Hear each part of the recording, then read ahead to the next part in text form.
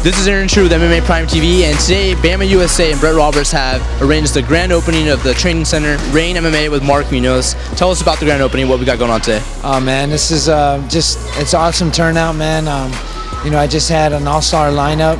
You know, people had you know people saw demonstrations. We had giveaways.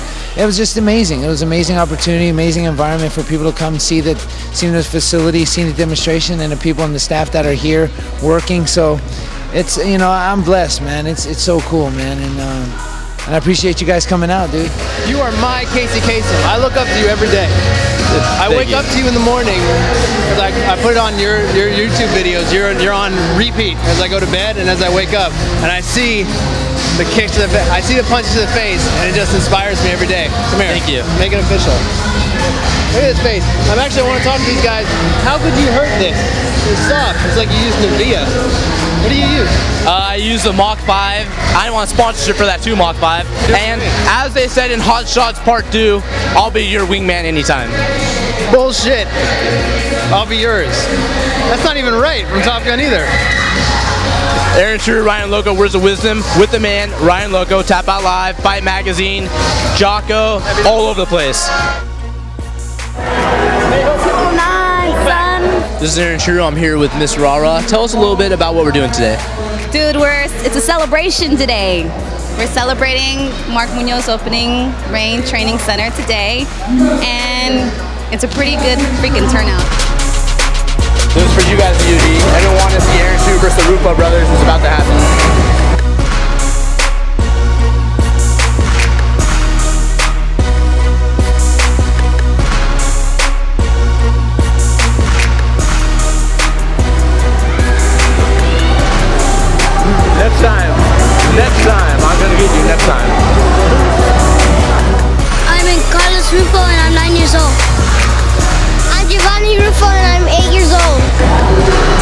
This is Aaron Tru, and I want to thank BamaUSA.com,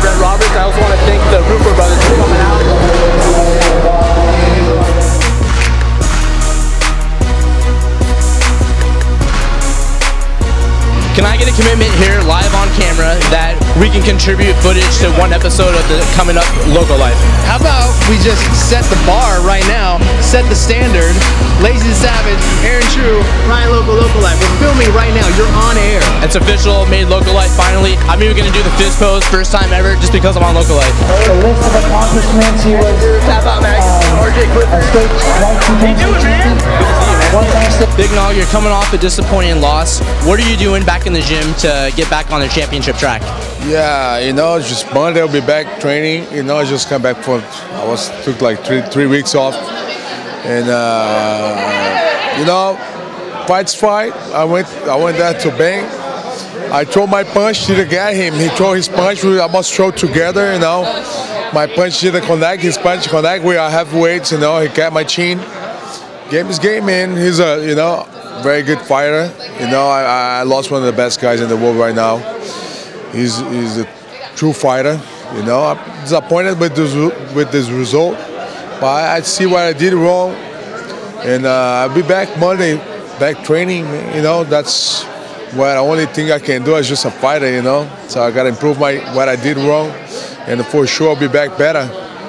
This is Aaron Tru with MMA Prime TV. I'm here with title contender Urijah Faber. Tell us about the fight you have coming up at WEC. Uh, fighting Jose Aldo.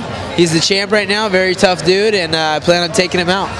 How much would it mean to you to get your belt back? Oh, I mean it everything, man. I'm, I'm, uh, you know, I'm in this sport to be the best, so uh, that's what that belt symbolizes. So I'm gonna get it back. Can we get your prediction for the fight? Uh, I don't know exactly how it's gonna go, but I know it's gonna be exciting, and I know that uh, uh, I'm gonna win. This is Aaron Tru. I'm here with Joseph Benavidez. You're coming off an impressive victory over Miguel Torres. Tell us how you feel. I feel on top of the world, man. It's, uh, it's an amazing night for me uh, last Saturday. And uh, it's just a fight I envisioned, you know, in my head so many times.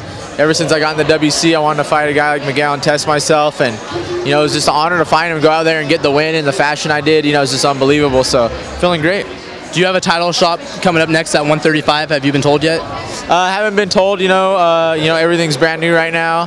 But uh, I'm really hoping for a title shot, looking to go in there and uh, avenge my only loss and get the title. And you know, I'd be disappointed if it was anything else. I, I feel I've proved I was the number one contender since my loss took out two really good guys in impressive fashion. So uh, yeah, hoping for the title shot. What do you have to say about Dominick Cruz's remarks saying that he would beat you nine out of ten times? Uh, I think it just kind of came out of his mouth. He probably didn't know what else to say. You know, maybe a little excited. I think he knows. I know for sure he can beat me nine out of ten times. Uh, I think I had a bad night uh, the night that he did beat me, and he had the greatest fight of his life. So. You know, he's a great fighter. You know, uh, he's he's a good champion. He's a really great style, and uh, you know, I'm looking forward to going there and mixing up with again and proving him proving him wrong. This is Aaron Tru with WEC 135 title contender Joseph Benavidez. Congratulations on a great victory over Miguel Torres. Thank you guys. Yeah, it's King Mo at MMAPrime.tv. Y'all can catch me in Nashville, Tennessee on CBS April 17th, taking the belt from Mousasi. That's all I gotta say. Tune in and watch it happen.